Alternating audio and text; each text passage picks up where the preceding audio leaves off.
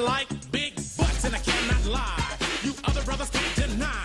Now when a girl walks in with an itty bitty waist and a round thing in your face, you get sprung. Wanna pull up tough, cause you notice that butt was stuck Deep in the jeans she's wearing.